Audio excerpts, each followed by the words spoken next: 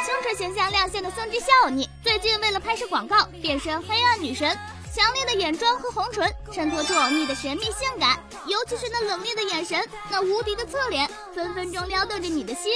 话说，欧尼也只有拍摄画报时是美美的，参加综艺节目时，欧尼又成了可爱的小女孩。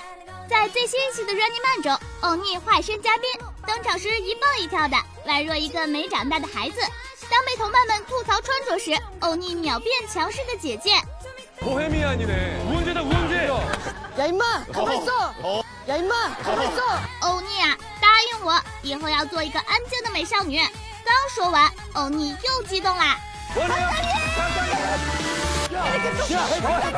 진짜 진짜 진짜 진짜 나야 나 欧尼，你这嫌弃失望的表情不要太明显。弟弟赶紧邀约江南尼尔， 满足我们梦之的愿望。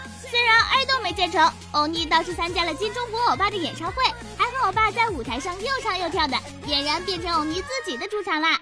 要不，欧尼你也开场演唱会，我们保证都到场支持你。